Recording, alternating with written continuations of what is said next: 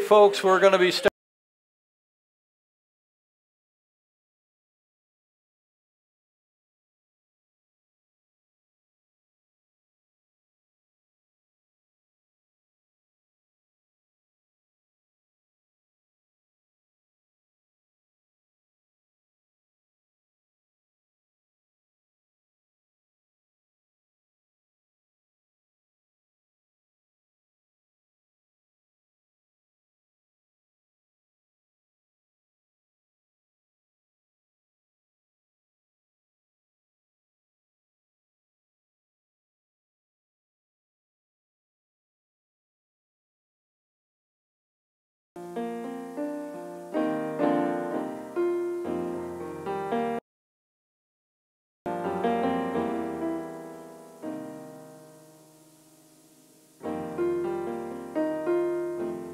Good morning, everybody. Welcome to Unity of Chattanooga.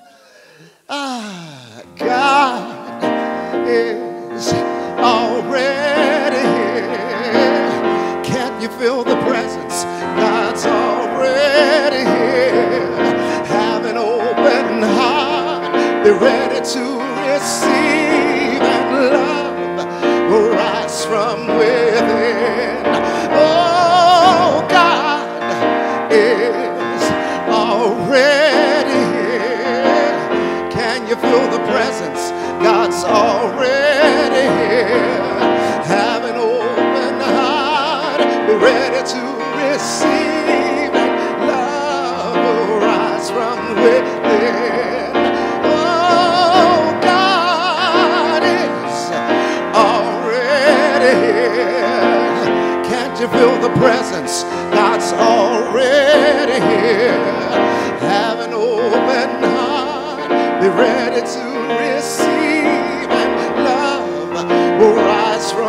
Within.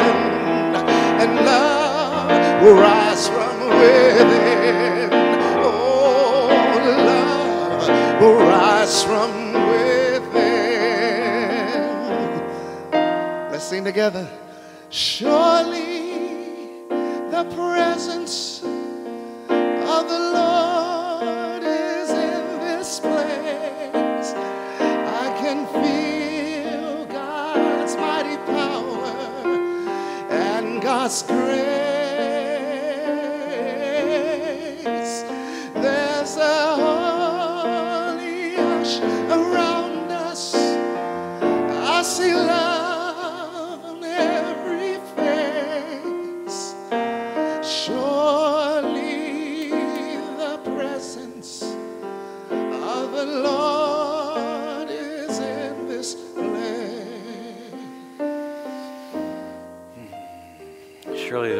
of the Lord is right here and right now. And as we often say, as we open our hearts and as we open our minds, God is here. And as we take a deep breath, as we open our hearts, as we open our minds, as we simply relax into this beautiful sunny day,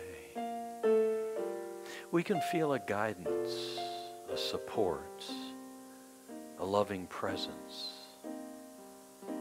slowly flowing through every part of our body, relaxing, revitalizing,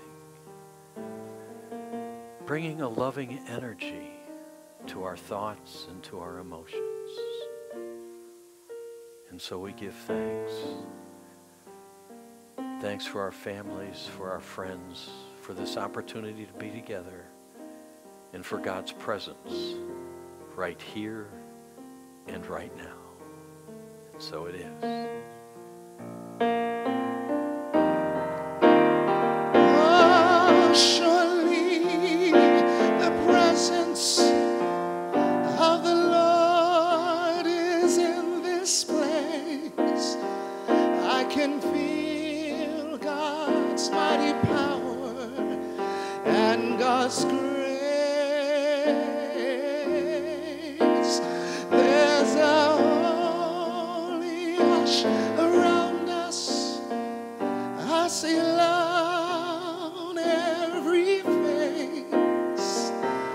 joy.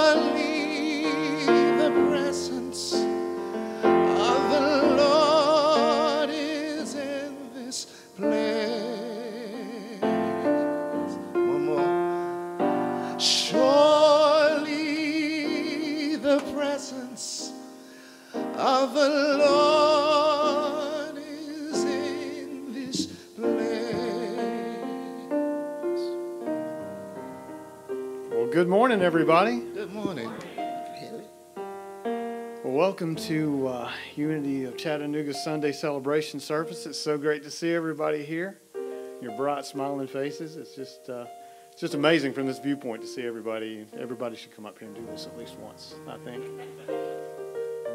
Uh, I also want to welcome all those who are joining us on Facebook.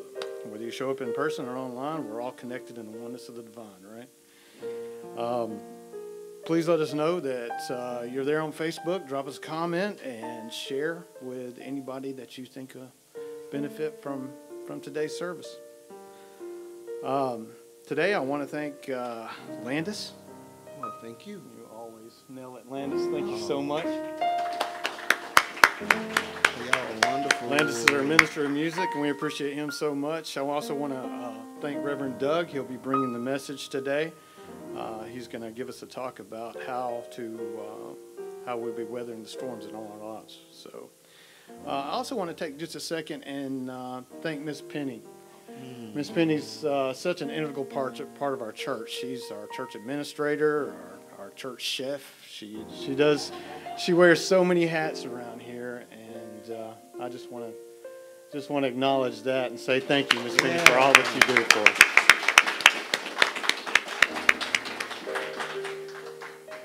So, do we have anybody here for the first time today? Any newcomers? So we have someone here who has not been here, in, I don't know, maybe eight, nine years or so, so, um, Dave Jones, and I'd like to Where? send him a blessing and welcome. Hey. We're honored to have you, Mr. Jones. Thank you for coming today. I said, we're honored to have you. Thank you for coming today. We appreciate you coming back. And we have an special welcome for you from our hearts to yours. We love you. We bless you. We appreciate you. And we behold the Christ in you. And the Christ in you is that divine presence that Jesus manifested and demonstrated so perfectly. Welcome.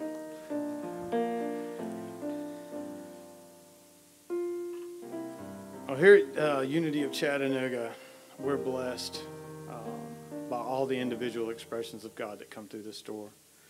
Uh, we come together in our core values of love and diversity and inclusion, and we welcome all people wherever they are on their spiritual journey because we are here to work together and live our best lives in the truth that we know. We believe that there is one power and one presence in our lives, whatever name you give it Brahma, Allah, universe.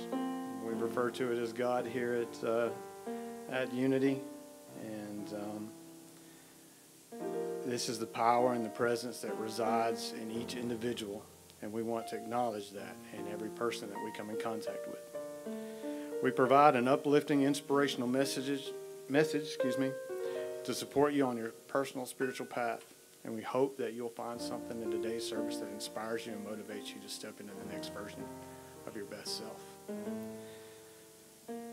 And if you guys have been uh, paying attention to your calendar, you know that tomorrow is 9 11, September 11th.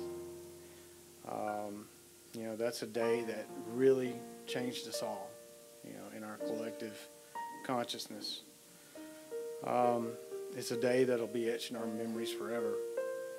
And while we can't reverse those tragedies that took place at the Pentagon and Shanksville, Pennsylvania, and the Trade Center, we can choose to focus on the goodness that came out of that tragedy.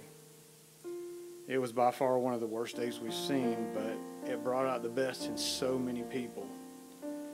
And if we learn nothing else from this tragedy, you know, we'll learn that life is precious and it can be gone in an instant. We're not we're not guaranteed the next day. So there's no time for hate or animosity.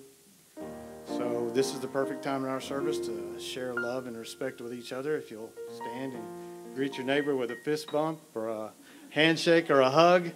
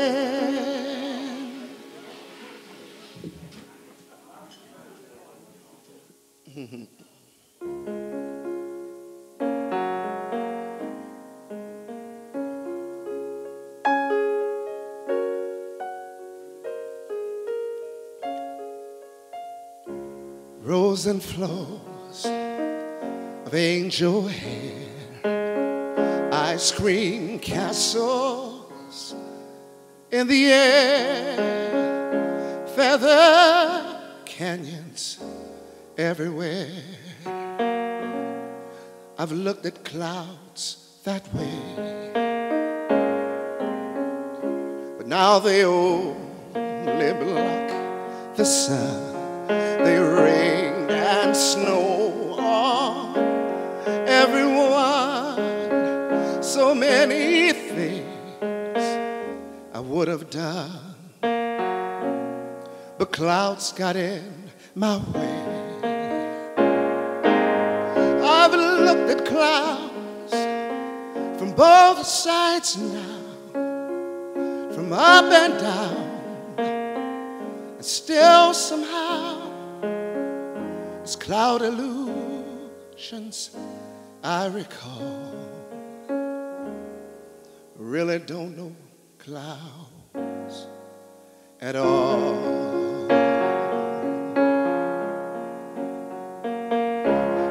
And Junes, Ferris wheels, the dizzy dancing where you feel as every fairy tale comes real.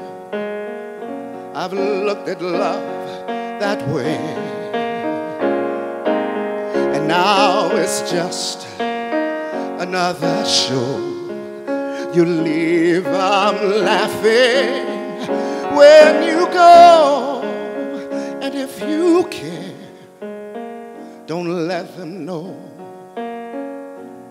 Don't give yourself away. I've looked at love from both sides now, from give and take, and still somehow it's love's illusions I really don't know love at all. Tears and fears, feeling proud to say I love you right out loud. Dreams and schemes and circus crowds. I've looked at life that way. But now, old friends, they're acting strange. They shake their heads. They say I've changed, but something's lost, but something's gained in living. In living every day. I've looked at life from both sides now, from win and lose, and still somehow it's life's illusions that I recall. I really don't know life at all. I really don't know life at all. It's life's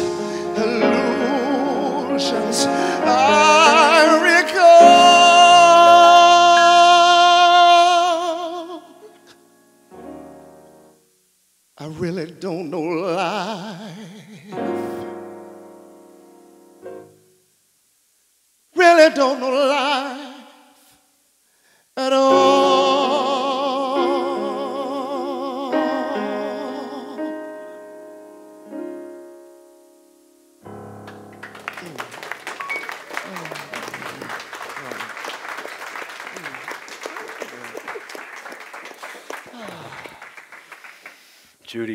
Would be proud. Oh, yeah, Joni Just- Mitchell too. Yeah, Joni Mitchell actually wrote that song. Yeah, Natalie Cole too. yeah, yeah. So many. I'm feeling proud. All right, yay! And, and it's perfect. I love Yeah. it. It's perfect for what we're going to talk about today. Wow. You know. Tears and fears and feeling proud. Yeah. Say I love you right, out loud. Yeah. Yeah. Ah, yeah. And so many things I would have done, but clouds got in my way. Well, that's what we're going to talk about this Better morning. get out of the way. I better get out of the way. Yeah. You know, in the in the last the last line, I really don't know life at all. It's it's it's so how do we manage? How do we thrive? How do we grow with with all the clouds and all the dissonance and stuff? Well, that's what we're going to talk about a little bit.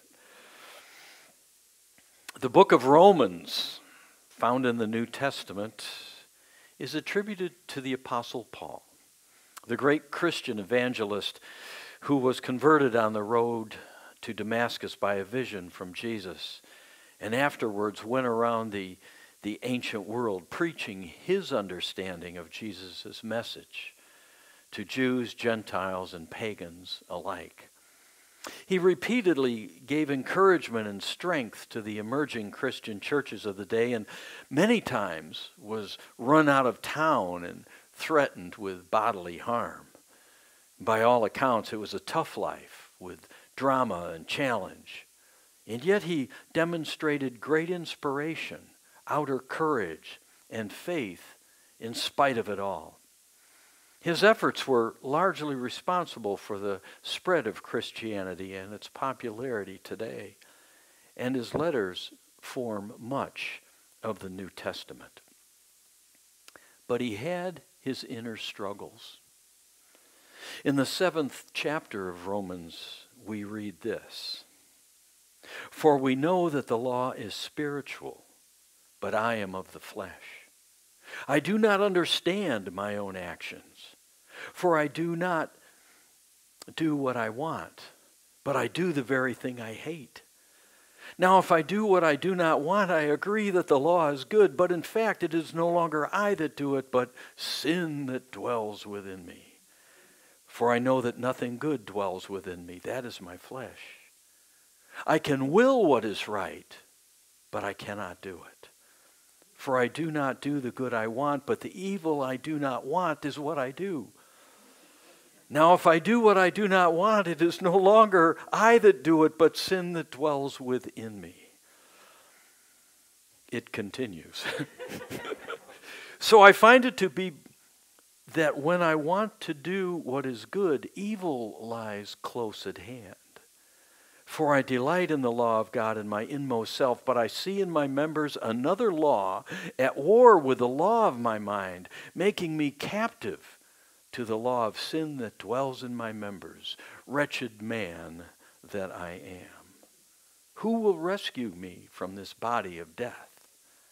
Thanks be to God through Jesus Christ our Lord. In some ways, when I read this text, it's like fingernails on the chalkboard. You know, it's filled with evangelical rhetoric reminiscent of fire and brimstone, sin and salvation, and sermons and judgments from earlier churches. But on another level, if we can get through that, what Paul is experiencing is the dissonance, the inner struggles, the confusion that many of us experience on the spiritual path. On Sunday, we hear a positive message of God working for good in our life, with inspirations, with guidance, with love, with healing. And yet, come Monday morning, we face the challenges of yet another day in a world filled with much of the opposite. How are we to manage, thrive, and grow in such diverse surroundings, such diverse messages, such divergent pushes and pulls. We've had great visions. We've had emotional highs and aspirations that we've had for our life, only to dissipate in clouds and storms and confusion and poor choices. I can will what is right, but I cannot do it, as Paul lamented. We love our spouse, and we just had a big fight. We don't like our job, but we show up every day for work anyway, afraid to make a change. It's Judy Collins' song, Collins' song of life experience that we just heard. So many things I would have done, but clouds got in my way. Most of you are familiar with Mother Teresa, the great Roman Catholic nun who founded missions of charity in Calcutta, India, to assist the poor and the sick. It's grown to have over 4,500 nuns across 133 countries as of 2012, over 10 years ago. Today, they manage homes for people who are dying of HIV and AIDS, leprosy, tuberculosis, and a host of other diseases. They also run soup kitchens, dispensaries, mobile clinics, children and family counseling centers, as well as orphanages and schools. In retrospect, as we think of Mother Teresa, it seems as if she was divinely guided and assisted to do these, these great works, an avatar who came just for that. Early in her life, she became fascinated by stories of the lives of missionaries and their service, and by age 12, she was convinced that she should commit herself to a religious life. Now, she was a native Albanian, and she joined the Sisters of Loreto in Ireland in order to learn English with the intent of becoming a missionary. She chose to be named after Therese de Lisieux, if I pronounced that right a patron saint of missionaries, but opted for the Spanish spelling of Teresa.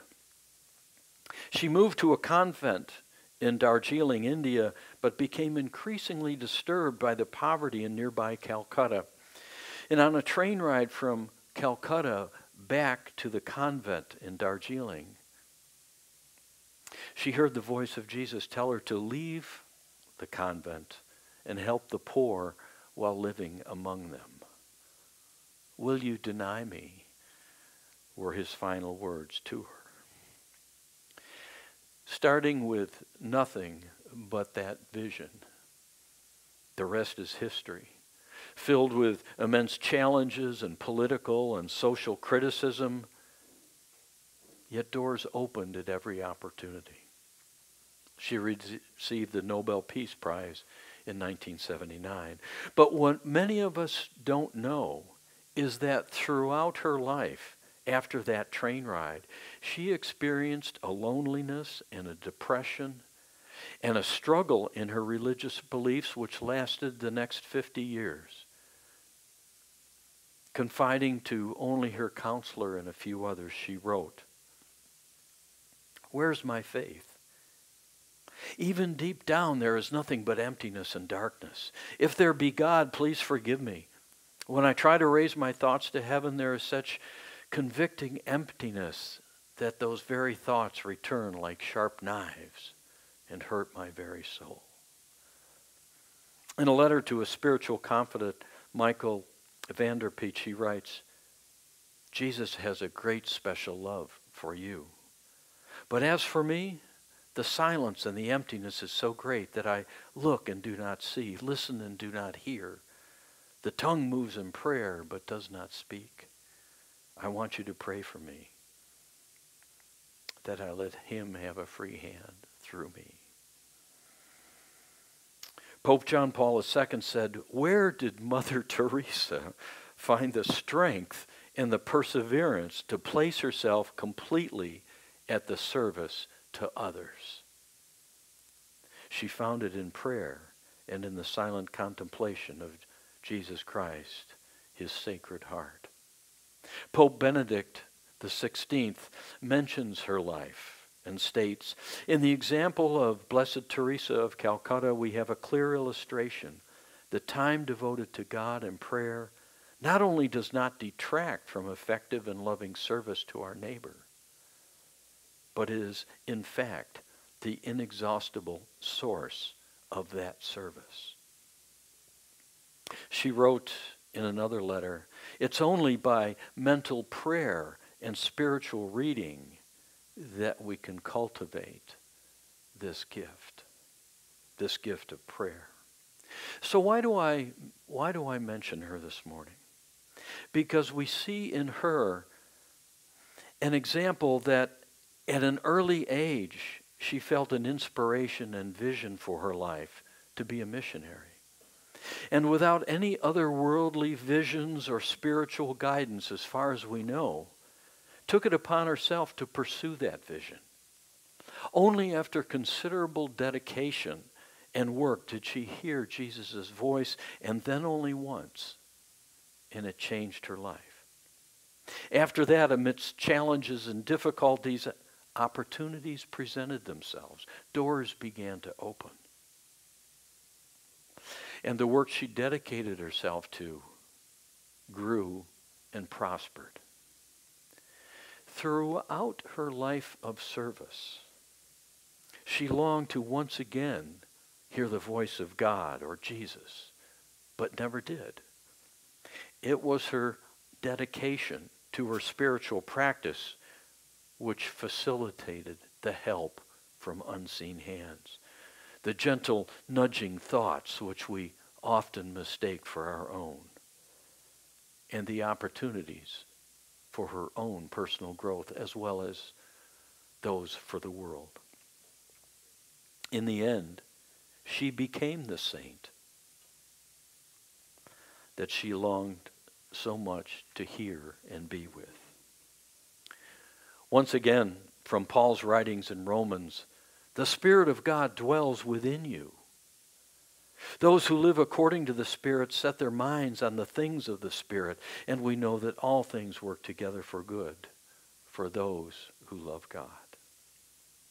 So, how do we do that? Well, again, Paul writes in Romans Do not be conformed to this world, but be transformed by the renewing of your minds, so that you may discern what is the will of God, what is good and acceptable and perfect. The spiritual journey is not an easy one. It's filled with all kinds of physical, material, and worldly temptations, with only a spark of something greater deep within our consciousness. It's up to us to nourish that ember, to bring it into full flame. And the only way to do it is to consciously choose our intentions, our thoughts, our works, and our spiritual practice. From the song, Both Sides Now, that we heard this morning, something is lost and something is gained every day. It's important to make that work for you. And all along the journey, there are conflicting thoughts with every emotional tone, pulling and pushing in multiple directions. And yet, as spiritual beings with free will, it's our choice which ones run through our minds and our actions. How we consistently choose, time after time, is the, is the destiny of our life. And sometimes it's very hard to do. When I think of some of the great leaders in, in history, each one of them had a greater vision that they never abandoned, even in the face of great difficulty. Washington, Lincoln, FDR, Martin Luther King Jr., Gandhi, they never wavered. Even if they had private doubts and reservations or lack of enthusiasm, or were in jail, they had the discipline to persevere. They had an inner strength, an inner connection to something greater. Something greater that they knew and that they relied on. In the 16th chapter of John, when Jesus is talking to his disciples about the upcoming events in his ministry, he says to them, The hour is coming, indeed it has come, when you will be scattered, each one to his home, and you will leave me alone.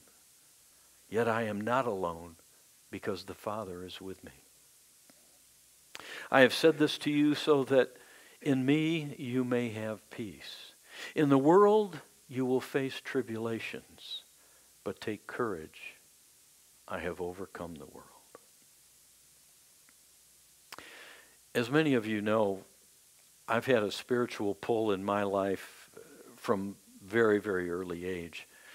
Often, very often, it seems, with conflicting twists and turns. When Penny and I were married in, in the late 70s, we decided to join a church, and after a considerable search and coincidentally hearing a radio spot for a Unity Church, we just, what a coincidence. We found Unity. And for the next 20 years, we attended a variety of Unity churches, off and on while we raised our daughter, and I pursued a business career that moved us all over the country. We became familiar with the, with the basics of prayer, meditation, and an understanding of the laws of mind action and attraction. But in the mid 90s, while trying to avoid church and kayaking a river in Northern California, a voice within said that there were other things that I should be doing and ended my kayaking days with an injury a few moments later. Well, a few weeks later, after the shoulder surgery, that same small voice said to go to the Unity go to the Unity Church in town. And by that time, I recognized that voice and knew that it was a direction or a suggestion not to be taken lightly. the minister of that at that time, wonderful guy, just just got out of ministerial school, and he reignited my spiritual journey. I became very involved with our church in California, and I began to understand I began to, to feel and, and know, to some degree anyway, the subtle higher thoughts of spirit. What thoughts were mine and what thoughts were coming from a powerful but benevolent outside source. What doors spirit was opening and directing and what was mine to do if I chose to do it. By the time I entered ministerial school in the early 2000s, this higher guidance was regular and almost conversational, as was my prayer and meditation practice. Doors not only opened, but flew off the hinges. And directing and assisting events occurred so regularly, time after time, that I could only describe them as, as miracles, although I knew at a deeper level it was help from unseen guiding hands. But as ministerial school developed with the academic work and the variety of other activities, include working in silent unity and speaking on Sunday in a local church, that guidance stopped. It was if a plug got pulled, somebody turned the switch off. It was not only unnerving, but lonely, scary, and the very experience of silence and emptiness that Mother Teresa described. Doubt and depression became ever present wolves at the door. Now, in those days, all ministerial students were directed and encouraged to seek and engage in psychological counseling on a regular basis, at least once a month. And the school had a list of licensed uh, therapists and family psychologists that they recommended. Now, I'd never been to a counselor before, had always felt self assured and confident to make my own decisions, even in difficult situations, and didn't much like the idea. After all, guys are taught to be tough at an early age and not talk about their inner feelings. But after talking with some of my colleagues, I decided to go anyway. I really didn't know what to say. The conversation started slowly and awkwardly, but he was familiar with unity in the ministerial program. God bless him. he listened carefully and was able to see that there was something under the surface bothering me that I probably wouldn't bring up on my own. So he hit it right on the head. What's bothering you? What is it that you're reluctant to talk about? Well, the horse was out of the barn. So I told him all about the guidance and the events that had led me to unity and the miracles surrounding my entry into ministerial school, the conversations with God and the guidance and direction that was so regular, and now nothing. Am I in the right place? Did I screw something up? Why have I been abandoned? Or has all this been some schizo imagination? and he looked at me and he said, How can you ever doubt? Don't you see that Spirit has assisted you to bring you to where you've always wanted to be? And now it's up to you. Spirit wants you to develop and bring forth your higher self, which you're now in the perfect position to do. You've made the team.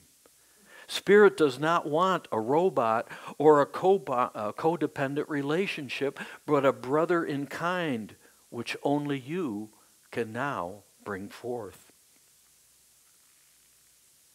The training wheels are off.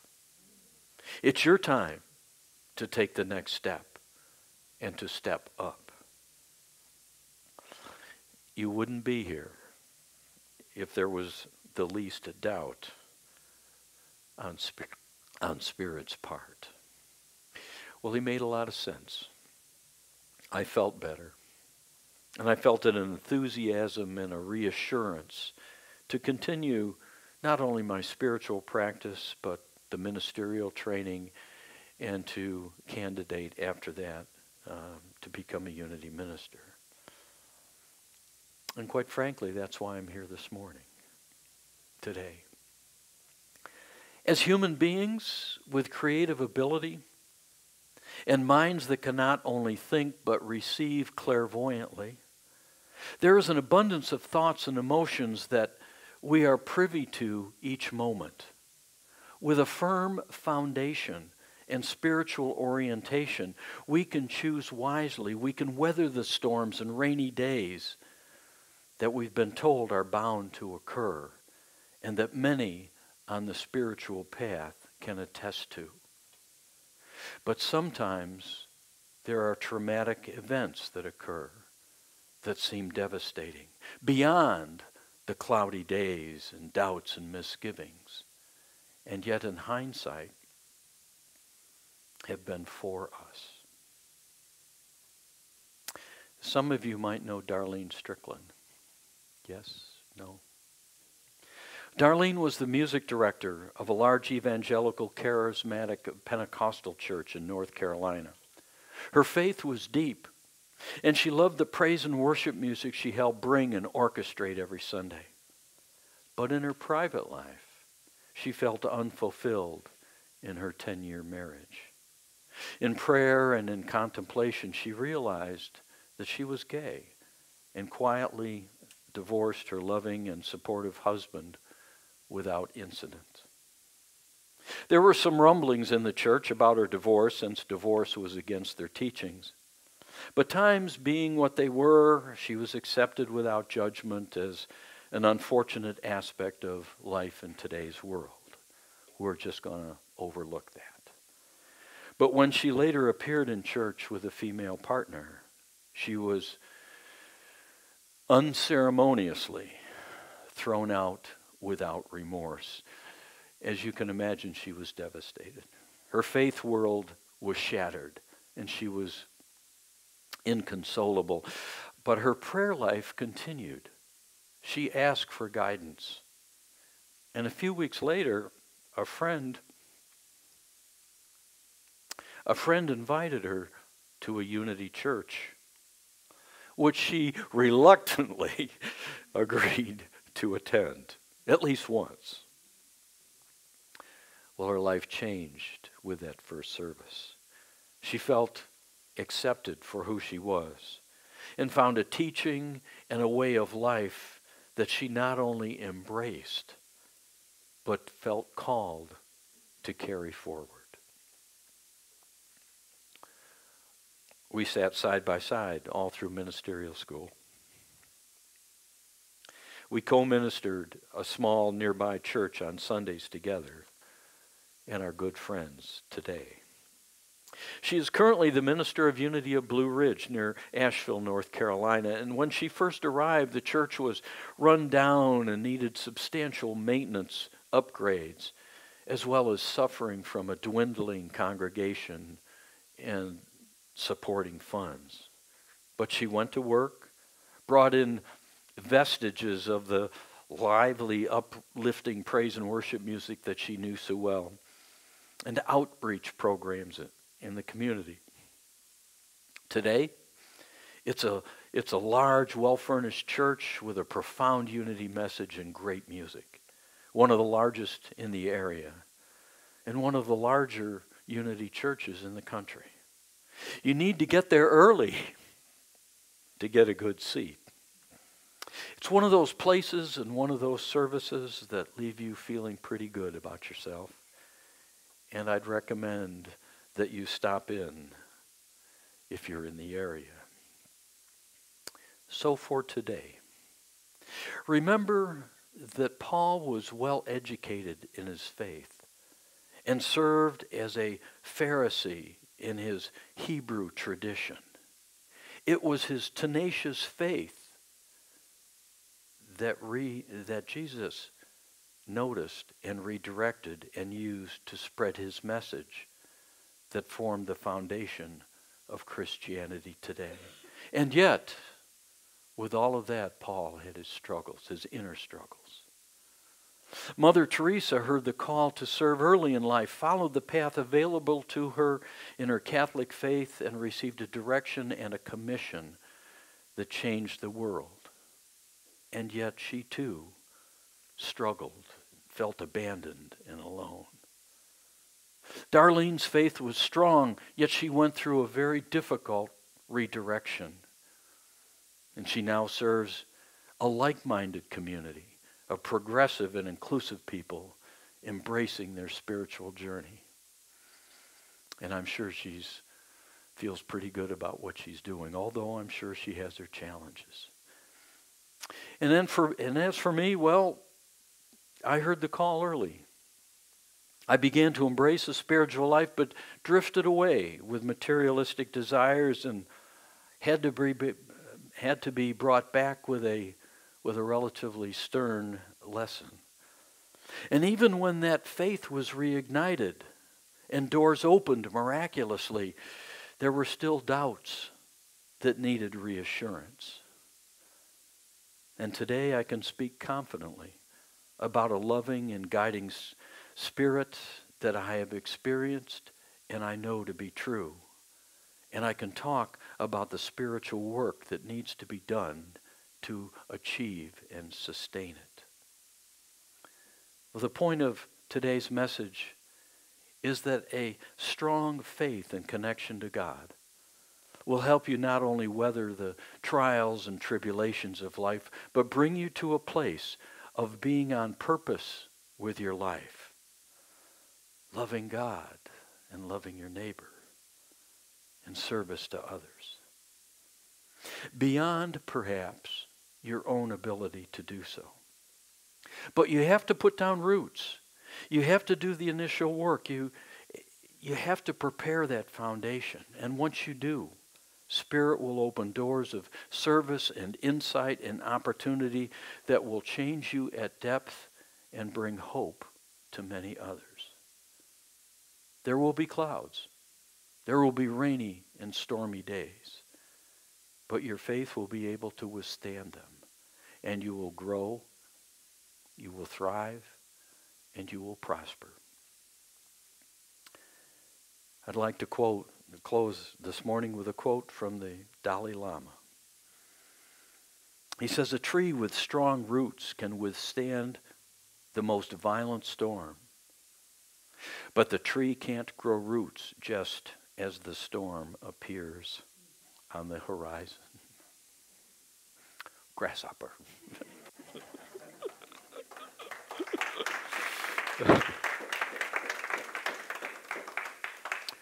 so let's take a few moments and uh, just let all that settle. I know it was a lot. You ought to try writing one of those sermons. so much is left on the cutting table. But for right now, take a deep breath and let it go.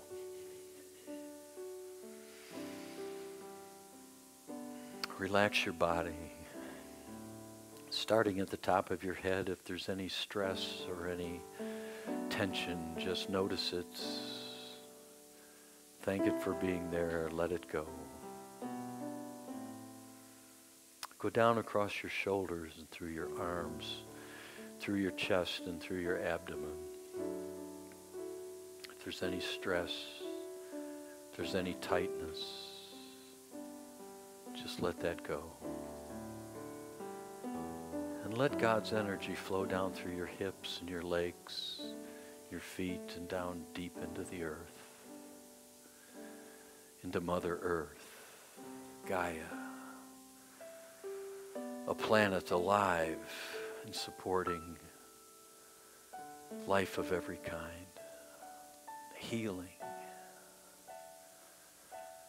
And let that energy flow back up through your body, through your legs, your hips, through your abdomen, your chest, and just feel the nurturing of that energy flowing back out to Mother, Father, God. You are connected with a source of spiritual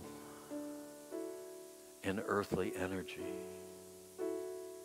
that supports life on every dimension. And as we think of this living planet, there is sunshine, there is warmth, there is abundance and growth everywhere. And yet there are clouds and storms earthquakes. There are deserts. There are cold places. And yet life is there. And so right here and right now, I want you to think of a challenge that's in your life. A cloud that has drifted your way, blocking the sun. It may be a time to step back. Maybe a time to simply be open to change. It may be like Paul and Mother Teresa, Darlene and me. It may be Spirit saying, there's something else for you to do. This is all good. You've done well. You're loved and guided. And this is a new door for your good and for the good of the planet. Something that you and only you can do. Think about these things. And remember that clouds bring rain. Rain brings nourishment through which all things grow.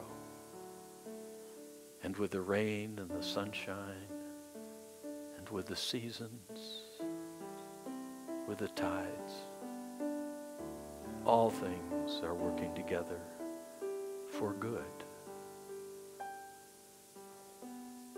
All things. Thank you, God.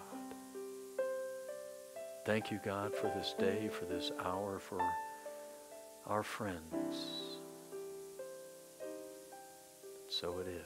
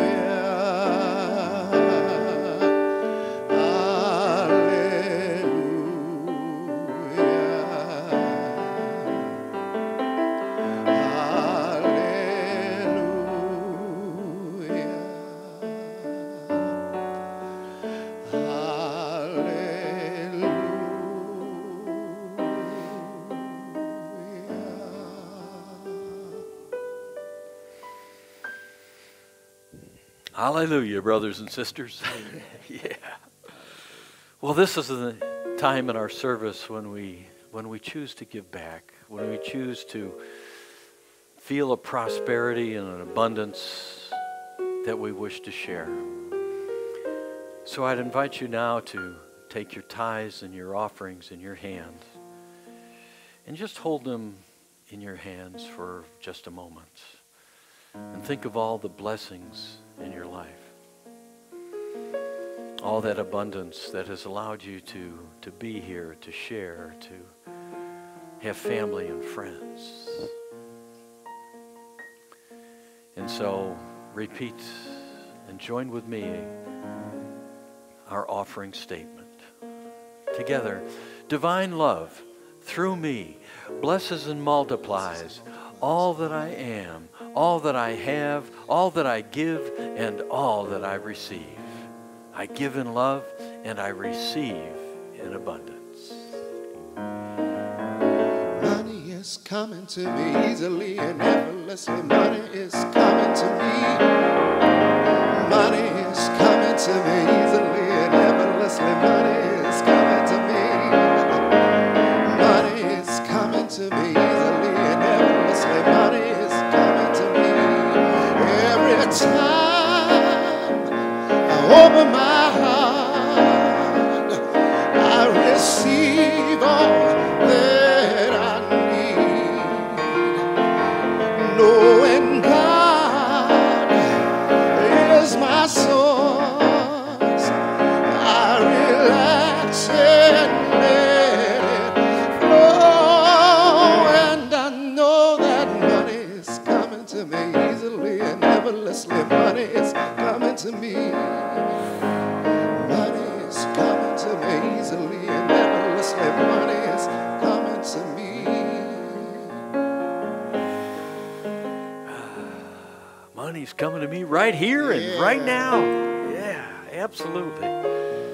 So we give thanks once again for these tithes and these offerings so freely given from hearts filled and overflowing with abundance. And we know that these, these special gifts go forward to bless each and every one of us and through us to bless our friends, our associates, this town, this country, and this world. It starts right here with us. Thank you, God. And so it is.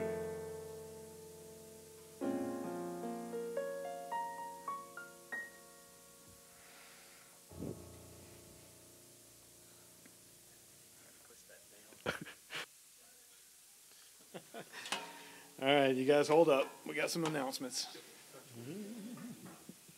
All right. Um, thank you, Reverend Doug. That was that was good. We are all blessed that you answered the call. Yeah.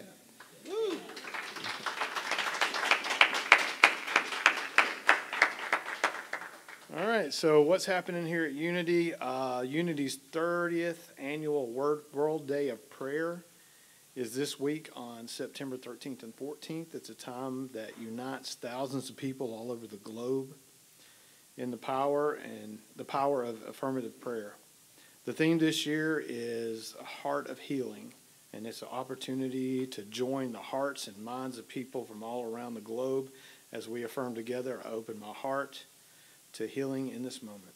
You can join uh, Unity Worldwide Ministries on Zoom for the opening ceremonies.